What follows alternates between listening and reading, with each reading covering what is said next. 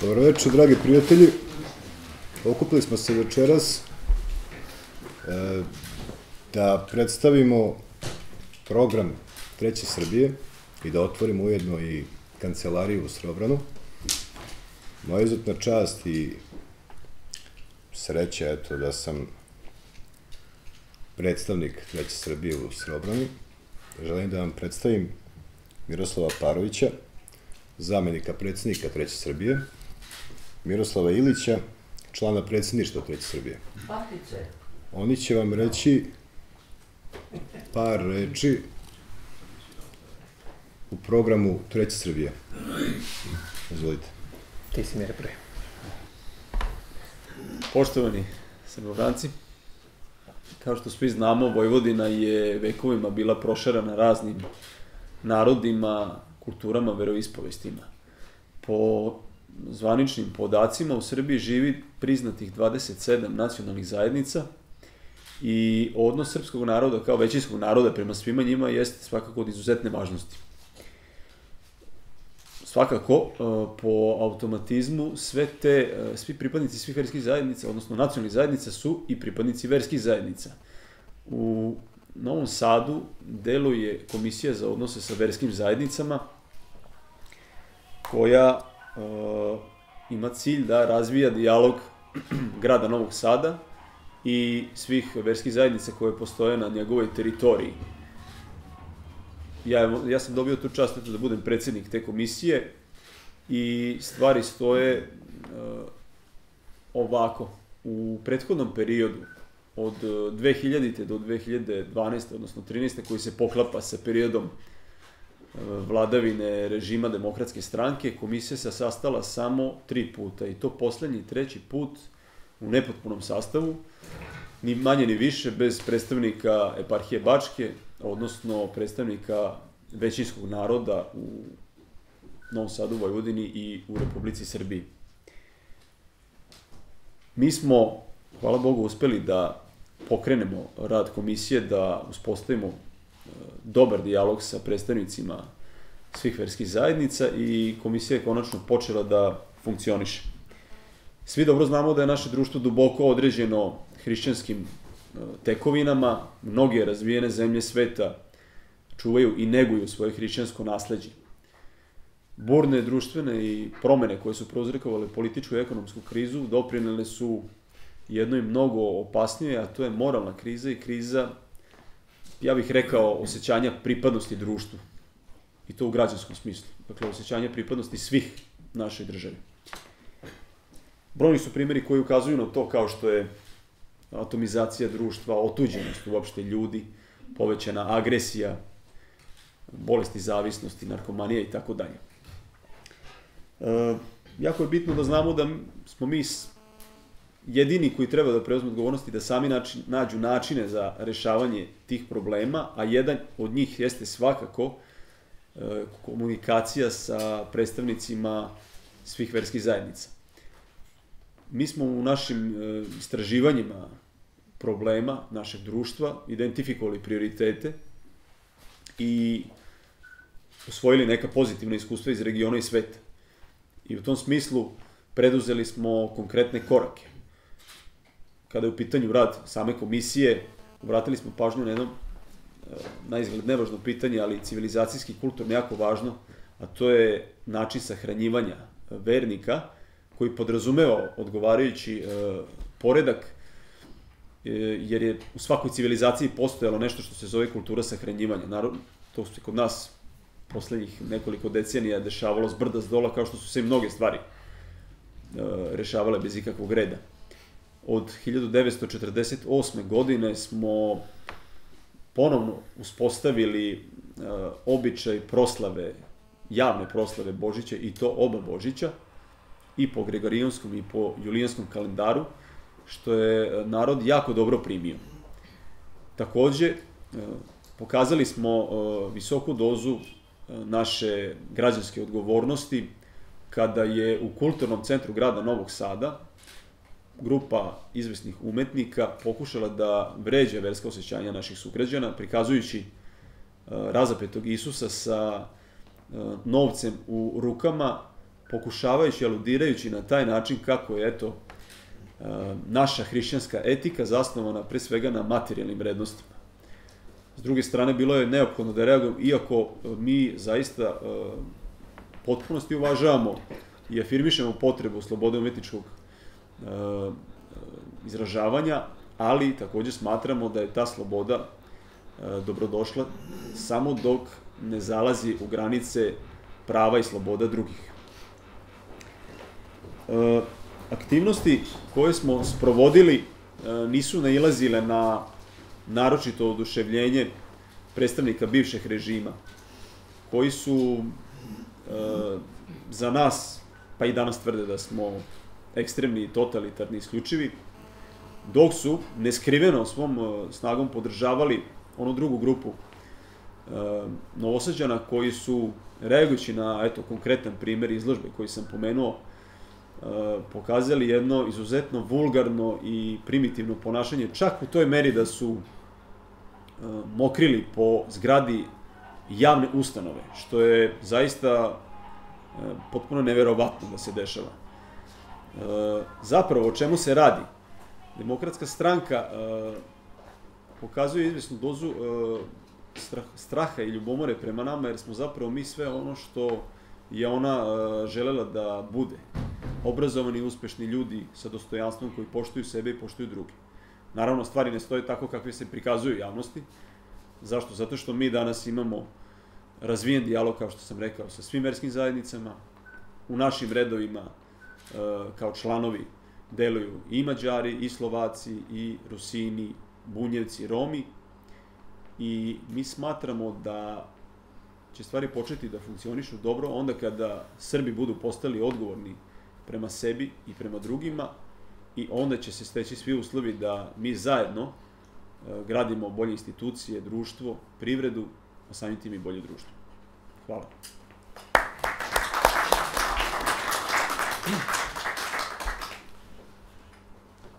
Ako, velika mi je čast što i, evo ja u svoje lično ime mogu da vas pozdravim, takođe u ime političke organizacije Treća Srbije. Evo, mi se danas nalazimo pred, ne znam da li znate taj podatak, evo ja vam ga iznosim, desetim izborima od kada je uveden višestranački sistem u Srbiji. Dakle, u prethodne 23 godine ovo nam je deseti put da izlazimo na birališta, od toga sedmi put vanredno. Matematički gledano, kada saberemo da otprilike dva meseca se koristi za kampanju, ovo, ove predizborne aktivnosti kao što mi imamo danas i ovih dana, i da još dva meseca treba da se napravi neka vlada posle održanih izbora, možemo doći do zaključka da više od četiri godine, u prethodnih 23 godine, mi ni nismo imali nikakvu vlast. Jer ne znam da li znate, kada se raspišu izbori, kada se raspušti Skupština Srbije, kao što je sada slučaj, vi nemate vladu. Vi imate tehnička lica koja obavljaju funkcije ministra, ali ne kao izabrani, nego kao tehnička lica. Dakle, ne mogu da rade nikakve nove projekte, ne mogu da se bave nikakvim poslovima koji bi u suštini oni trebali da rade, oni mogu samo da prosto sede u kancelarijama da one ne bi bile prazne, ono bukvalno govoreći. Dakle, sad zamislite vi, u svim ovim kriznim godinama u kojima se država Srbija nalazila, da smo mi četiri godine bili potpuno van bilo kakvog sistema i to voljom političke elite. Odnosno oni koji su se politikom bavili svih ovih 23 godine. Ali ono što je posebno važno za ove izbore sada, jeste što su isti ljudi koji pune 23 godine se bave politikom, isti ljudi koji su učestvovali praktično na svih ovih 10 izbora do sada, se kandiduju i danas. Naravno, danas ih imate kao nove. Imate novog Borisa Tadića, imate, ne znam, novog Dragana Đilasa, imate... Svi, svi su novi. Kao da ih nikad do sada nismo videli, a rezultate njihovog rada su sledeći. Pa bih vam ja samo naveo par statističkih podataka da vidite otprilike kako izgledaju parametri države Srbije gledano kroz oko statistike. Imamo više od milion nezaposlenih ljudi u Srbiji. I po tome smo jedan od lidera u ovom regionu. Imamo između 500.000 i milion hektara neobrađenog zemljišta. Samo ću vam uporediti sa Holandijom. Holandija ukupno ima oko milion hektara obradivog zemljišta, a mi imamo u Parlogu gotovo toliko. Imamo, evo danas sam pročitao podatak, što je posebno zabrinjavajuće, 15% osnovaca ne upisuje srednju školu. I to je tendencija stalnog porasta onih, one dece koje ne upisuju srednju školu. E sad zamislite u 21. veku, u Srbiji kakva ona jeste, među milion zapos, nezaposlenih koje danas imamo, zamislite koju šansu imaju ta deca koja danas nisu upisala srednju školu. I sa završenom srednjom školom i fakultetom su im šanse, nažalost, u ovakvom sistemu male, a zamislite kada još nisu upisali ni tu srednju školu. Dakle, mi lagano, ali sigurno, zaista klizimo u jedno apsolutno siromaštvo, u jedno društvo koje će postati popilično anarhično.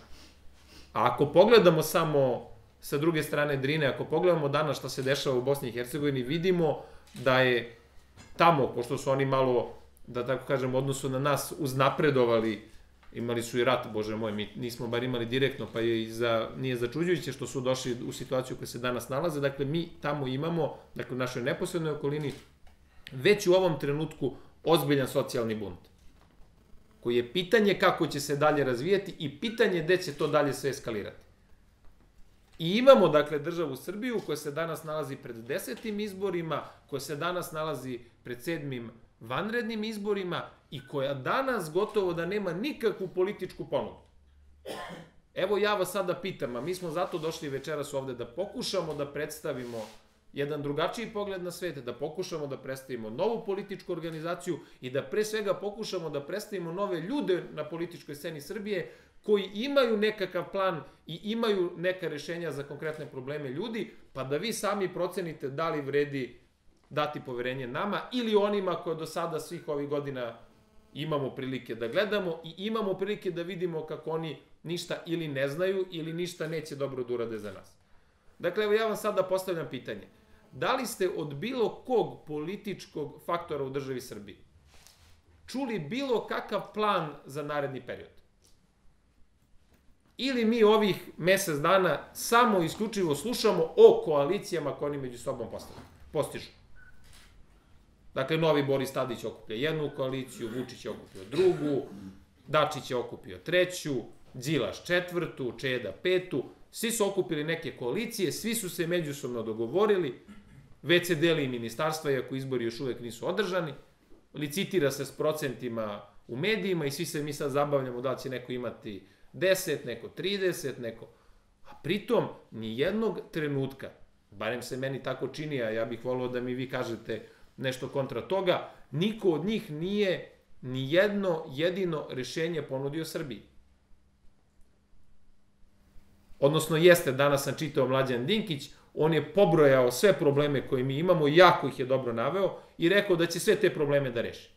Na sličan onaj način koji, koji je dao oni 1000 evra koje obećavao pre 4 godine ili oni 500.000 radnih mesta koje obećavao pre 10 godina, evo danas je obećao stvarno sve će da reši, imaće deca besplatnu užinu, neće više biti birokrati, neće biti više ničega. Dakle, to vam je politička ponuda danas u Srbiji. I ajde samo da probamo da razmislimo da li ima ikakve šanse da bude bilo šta bolje kad imamo njih takve. I to sad kažem kolektivno. E sada sa druge strane, ja bih počeo rečenicu sa nažalost, pa imamo jako malo autentičnih i novih političkih pojava na sceni Srbije. Imamo neke avanturiste koji pokušavaju da objasne da će jednim potezom da reše sve naše probleme, da ćemo osloboditi sve naše teritorije, da ćemo biti najbogatija i najozbiljnija nacija na svetu. A ako isključimo njih kao, kao avanturisti, ako bih ja volao da to tako bude, ali nažalost ne verujem da je to tako brzo i tako jednostavno moguće, imate negde nas koji sve vreme pokušavamo da sagledamo šta su to realni problemi običnog čoveka u Srbiji i da mu kažemo, ej, nešto je moguće, tebi se obraćamo, onoj tihoj većini vrednih ljudi u Srbiji, hajde izađi na površinu, ajde lagano da mi, dakle, kao većina ovog naroda, a većina nas u ovoj državi su vredni, časni i pošteni, ajde više da nas ne predvodi ova manjina, ovih parazita koji su se napravili, koji svih ovih godina sišu, bukvalno sišu nas, naše životne sokove, hajde zajedničkim snagama da ih pobedimo i da pokušamo da uradimo ono što se može u ovom trenutku. Ja bih vam samo naveo tri stvari koje mi obećavamo onoga trenutka kada budemo bili na vlasti, zato što smo uvereni da te tri stvari možemo veoma brzo i veoma lako da realizujemo, a da to bude na korist svih nas, naših porodica, naše ulice, našeg sela, naše grada i naše otačbine. Dakle, prva stvar koju vam ja lično obećavam i mi kao politička organizacija obećavamo onog trenutka kada budemo bili vlast u Srbiji ili onoga trenutka kada budemo bili parlamentarna snaga opet u novom sazivu Republičkog parlamenta posle izbora 16. marta. Dakle, mi ćemo biti garant da će projekat Južnog toka biti urađen. I to ne samo zato što smo mi onako blago rusofilski orijentisani, nego zato što je taj projekat svakako najznačajniji strateški projekat za Srbiju u 21. veku. Zato što je taj projekat projekat saradnje između Rusije i zemalja današnje Evropske unije. Zato što se u tom projektu nalazi nekoliko veoma važnih nacija u Evropi. Rusi, Mađari, Nemci, Austrijanci, Italijani, Srbi, Bugari. Dakle, zašto je to multinacionalni projekat koji je svima značajan, a nama je od esencijalnog, rekao bih, životnog značaja da se realizuje. Jer kada prođe ta cev koja će krenuti iz Rusije, završiti tamo negde u Italiji, vi ćete imati sve preduslove da kažete, dakle, kada se projekat bude završio u narednih pet godina, nadam se, mi ćemo imati kao narod i kao država sve preduslove da kažemo da smo energetski bezbedni narednih 50 godina. A onda ćemo na bazi toga što smo energetski bezbedni, moći da kažemo, ajde sada da napravimo sistem lokalnih gasovoda, ajde da napravimo nekoliko velikih gasnih elektrana i da postanemo energetski lider na Balkanu. I to je veoma moguće i veoma izvesno da tako bude ukoliko se bude realizovao taj projekat. A znate šta znači kad imate sigurne energente na narednih 50 godina? To znači da onda možete da kažete domaćim i stranim investitorima, ljudi, evo mi imamo sve preduslove da vi ovde pokrećete svoju industrijsku proizvodnju. Pa onda ako uporedimo da Nemci intenzivno najavljuju, a inače Nemci su već izgradili severni tok, Znači, Rusija i Nemačka su već sada povezani s gasovodom Severni tok, jer Nemcima naravno da trebaju energetski resursi zato što imaju privredu. Zato što oni svoj narod zapošljavaju u realnoj proizvodnji. Dakle, kada budemo imali južni tok, mi možemo da kažemo da će sva ona industrijska proizvodnja koja se planira da se vraća iz Kine i ovih azijskih zemalja, a inače to vam je nova politika Evropske unije. Pre mesec dana izrečena iz usta Štefana Filea, koga ovde u Srbiji samo spominju kada se priča o pridruživanju i kada ovi evrošibicari pokušavaju da objasne kako ćemo za godinu, dve, tri, pet, deset da budemo u Evropskoj uniji i kako ćemo dobiti te fondove. E, taj isti Štefan File je rekao da će nova politika Evrope biti vraćanje industrijske proizvodnje iz Indije. E, ako mi sebe postavimo i ucrtamo na mapu energetski bezbedne zemlje u narednih 50 godina, mi ćemo onda jedan deo te proizvodnje moći da instaliramo kod sebe. A onda će sve one priče o ljudima koji mogu da se zaposle biti veoma realne i veoma izgledne. I evo, mi vam obećavamo da ćemo sigurno biti najveći garant realizacije tog projekta. A šta vam drugi obećavaju? Evo ja ću vam navesti jedan primer. Obećavaju Beograd na vodi. A šta je Beograd na vodi? To su vam shopping centri, kockarnice, par galerija i nekoliko luksuznih hotela i nekoliko luksuznih stanova za, nekoliko luksuznih zgrada sa, sa ovim VIP apartmanima. I sad ja pokušavam da samo pravim analizu i paralele. Kako će Srbiji da pomogne jedan džinovski shopping centar više nego, na primer, projekat Južnog toka? Ili kako će Srbiji da pomogne jedan džinovski tržni centar više nego li da taj novac koji će se uložiti u izgradnju Beograda na vodi uložimo, na primjer, u sisteme za navodnjavanje u Vojvodini i u drugim krajima Srbije koji imaju razvijenu poljoprivredu, na primjer u Šumadiji. Dakle, pričamo o konceptu. Naš koncept je u ovom trenutku najveći patriotizam, najveće rodoljublje jeste ekonomski patriotizam obezbediti narodu preduslove da radi, vratiti mu elementarno dostojanstvo vratiti ovu decu u škole, jer sada ne idu u školu. Dati im mogućnost da kada tu školu završe da imaju gde da rade. E zato mi stajemo na stanovište da nam je Beograd na vodi mnogo značajniji, bože, da nam je Južni tok mnogo značajniji od Beograda na vodi, da su nam svi infrastrukturni projekti koji omogućavaju veće zapošljavanje mnogo značajniji od svih onih projekata o kojima se priča, a koji su, opet ponavljam, prodavnice, tržni centri, hoteli i kockarnice.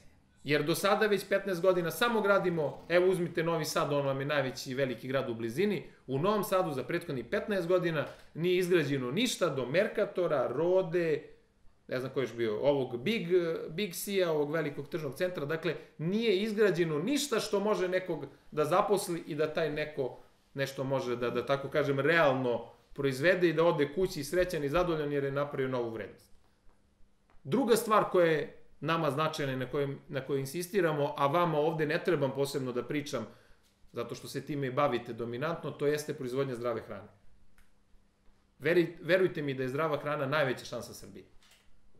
Ne znam koliko pratite, ali uglavnom su evropske zemlje, čak i zemlje iz našeg neposrednog okruženja, već veoma zaražene raznim lošim produktima koji pre svega dolaze iz Sjedinjenih američkih država, jer oni imaju trend uvođenja GMO organizama i oni imaju trend masovne proizvodnje relativno loše hrane. I onda oni tu hranu plasiraju po celom svetu, a oni ljudi koji imaju više para, oni kupuju zdravu hranu koja se proizvodi na par tačaka na planeti još uvek.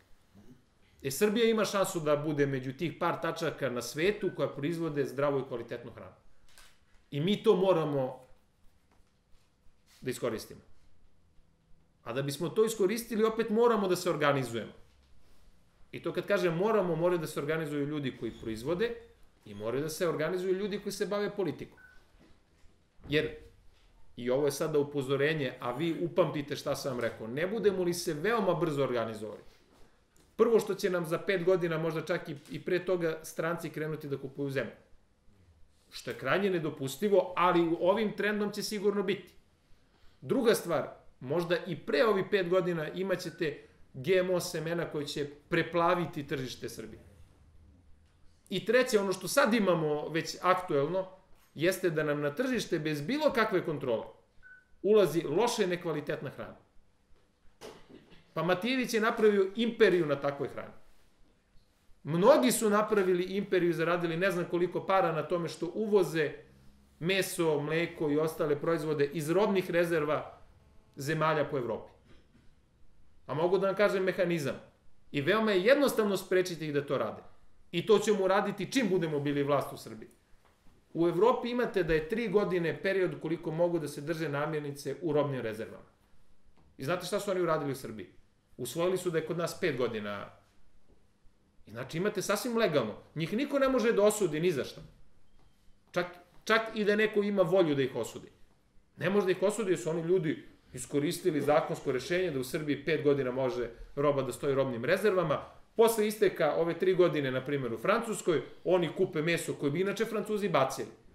Oni ga kupe, uvezu u Srbiju, naravno da je ta cena mnogo, da tako kažem, niža nego cena onih seljaka koji ovde proizvode, koji proizvode u Srbiji.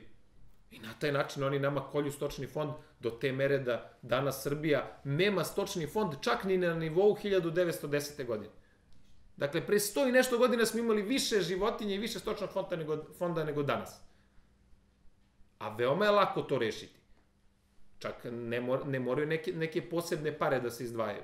Promenite zakonsko rešenje, kažete i u Srbiji je tri godine rok da stoji roba u robnim rezervama i uvedete sanitarne i carinske inspekcije na višem nivou. I veoma jednostavno rešite problem uvoza nekvalitetne hrane. A ta nekvalitetna hrana šta radi? Prvo trujemo nas i našu decu I većina bolesti ide zbog toga. Srbija ima ekspanziju bolesti koji su direktno povezane, povezane sa lošom ishranom. Glavna bolest koja je direktno povezana sa lošom ishranom je kancer debelog creva. Nama priča da je to od bombardovanja. Češće je od loše ishrane nego od bombardovanja.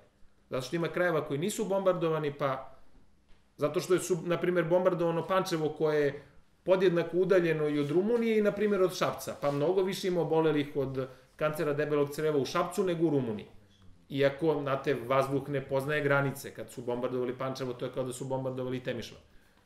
Dakle, samo ta loša hrana, koja, dakle, upropašćava srpskog seljaka zato što mu snižava cene i koja upropašćava na, naše ljude, sve nas, zato što je jedemo.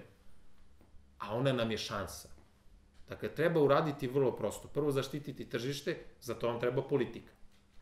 Drugo, treba podsticati poljoprivredne proizvođače da se udružuju. Jer vi samo u Srbiji imate da nemate ozbiljne udruženja poljoprivrednih proizvođača. Samo Srbija nema ozbiljne zadruge. Samo u Srbiji moguće da imate ogromnu proizvodnju maline, a da malinari nemaju svoje, svoju hladnjaču. I onda svaki godin imaju isti problem. Zato što ne mogu da sednu da se dogovore. E, kada mi budemo bili vlasti, mi ćemo ih posticati samo ukoliko su udruženi. Dakle, novac možeš da dobiješ samo ako se udružiš sa drugim. Zato što je to u interesu ove države. Nama nije u interesu da budemo svi međusobno posvađeni, nego da svi međusobno sarađujemo. I država može da ti da novac samo ako si se dogovorio sa svojim komšijom oko toga da zajednički radite. Rešavajte svoje probleme vi privatno, ali poslovno budite udruženi. I treća stvar, koja možda objedinjuje ove prethodne dve, jeste da je nama katastrofično stanje u bankarskom sektoru. Ne znam da li znate, ali evo vam još jedan podatak koji je lako proveriv. Kamatne stope u Srbiji su najviše u regionu. Drastično veće nego i u Mađarskoj, nego u Rumuniji, nego u Hrvatskoj, Bugarskoj, bilo koja država koja nas okružuje, ima manje kamatne stope nego mi. Podjednako je, čak i u stvari humanije danas se zadužiti kod zelenaša nego u banci. Humanije metode imaju zelenaši, brže, brže vam daju novac i manje kamatne stope imaju nego u banka. I po tome smo mi opet jedinstveni. A opet, lako je rešiti taj problem. A objasnit ću vam zašto, su nama potreb, zašto je nama potreban bolji bankarski sistem. Znači, nama je bankarski sistem potreban da bi ljudi koji žele nešto da rade, ljudi koji imaju plan, koji imaju motiv da se samo zapošljavaju, da bi mogli da uzmu kredit od neke banke po nekom realnom i normalnom, normalnom kursu kamatne stope. Evo uzmite primjer u Srbobranu. Imate 5 hektara zemlje i imate kuću. To je vam u vlasništvu. Koliko to vredi? Hektar zemlje je, je izašao na 10.000 evra ili je tu negdje? Nek bude 10.000 evra. Ajmo, ajmo da uzmemo prosek da je 10.000. Puta 5, to je 50.000. I kuća ne verujem da vredi više od 15. Koliko košta kuća u Srbiji? Solid. Solidna kuća 15.000 evra. Kada banka dođe, ona vam to odmah prepolovi. Dakle, kada radi procenu, kada radi procenu imovine, ona će reći ta imovina koja je realno na tržištu kad biste prodavali za 70.000 evra, oni bi rekli ona vredi 30. To je vaša osnova za hipoteku. A da bi vam odobrili kredit, kažu, mora da bude barem skoro duplo veća vrednost imovine nego sredstva koje vam mi dajemo. Znači, možete da dobijete na svu tu vašu imovinu 15.000 evra kredita. I to po kamatnoj stopi, opet ponavljam, najviš, najvišoj u ovom delu Evrope. I sad ja vas pitam, znači, imate volju, imate želju, čak imate i neke resurse, dakle imate dobru i kvalitetnu zemlju, ovde je jedna od najboljih i najkvalitetnijih zem, najkvalitetnije zemlje, ne samo u Srbiji, nego li u celom ovom potegu Panonske nizije. Iza Holandije. I hoćete, dakle, nešto da radite, trebaju vam novci da biste kupili traktor ili da biste podigli plastenik, odete u banku, ne možete da ga dobijete. Ili ga dobijete gore nego da ste se zadužili kod zelenaša. Koji je preduslov da se vi onda samo zaposlite? Nikakav. I onda ispada da isplativije prodati tu zemlju, staviš taj novac i čekaš, što bi rekli od Boga milost. A to je inače cilj. Jer očigledno neku cilj ima u Srbiji da narod ovde ne radi. Nego da nam sva imovina ode na doboš, da sve prodamo za male pare, naravno strancima, ko u Srbiji dominantno kupuje Hrvati, Mađari i Nemci. Prodamo im sve resurse koje imamo i šta smo onda?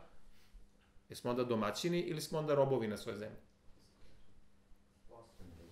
Jasno nam je šta smo, ako prodamo sve što imamo, ako sami ne radimo, ako očekujemo da nas 200.000 radi u Beogradu na vodi, onda smo robovi. Jeftina radna snaga. Pritom, onaj podatak koji sam vam rekao, a to je da naša deca više ne idu u školu, jeftina i neobrazovana radna snaga. I na šta se onda svodimo?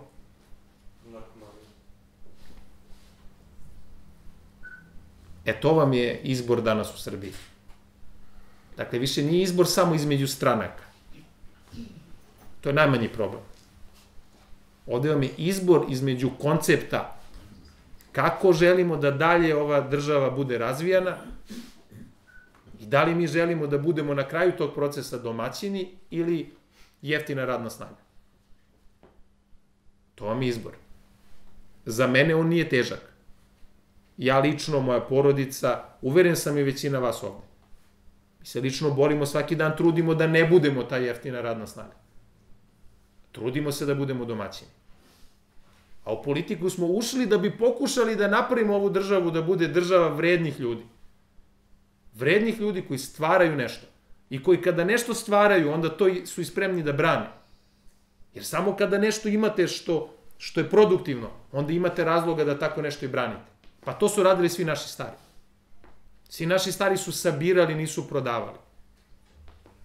Svi naši stari su umnožavali, nisu poklanjali na doboš. Ali svi naši stari su bili organizovani. Svi naši stari su znali šta rade. Nije mogo baš svako tako lako da ih prevari, kao nas danas. E zato su ovi izbori 16. Ako su po nečemu odsudni, a nisu po mnogo toga, će jako brzo doći novi. Potpisujemo u narednih godinu dana. Znači, jako brzo će doći novi, bez obzira ko i sa kolikom razlikom pobedi.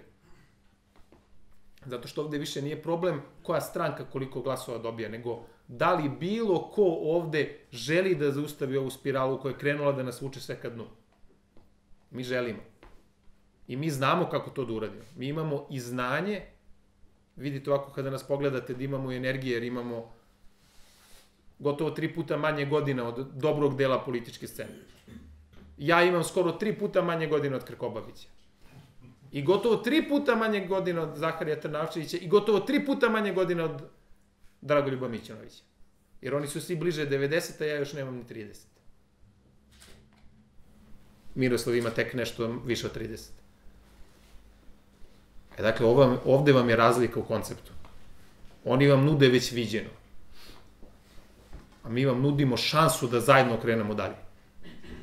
I zato smo mi sami izašli na izbore. Zato mi nismo u koaliciji. Zato mi svaki dan špartamo po Srbiji tražeći baš ljude kao što ste vi. Pokušavajući da izvučemo tihu većinu vrednog naroda na površinu. Da kažemo, bre, ljudi, dosta je bilo više s ovim parazitima. Hajde sad vreme je za, jedno, za jednu drugačiju, jednu bolju, jednu lepšu Srbiju. Jer mi to možemo. Znamo da možemo. Pokazivali smo do sada da možemo. Kao narod. Samo je pitanje danas da li hoćemo. Pa hajmo sada 16. da započnemo jedan proces koji će se jako brzo završiti našom pobedom. I zato nemojte imati dilemu. Ja je nemam. A vi dobro razmislite o ovome što ste čuli. Uporedite sa svim onim drugima koji će dolaziti bilo ovde, bilo ćete ih gledati negde na televiziji. Pa razmislite da li ti ljudi mogu bilo šta da urade za vas i za vaše porodice, pa ako zaključite da ne mogu, onda shvatite da postoji alternativa u koju vas mi pozivamo da je zajedno pravimo. I mi smo večeras pre svega došli da vas pozovemo da zajedno radimo. Jer rad samo može da pomogne Srbiji. Ništa drugo. Sve druge velike stvari su potrošene. Ali ako budemo počeli ozbiljno da radimo, onda imamo šanse. Hvala vam puno.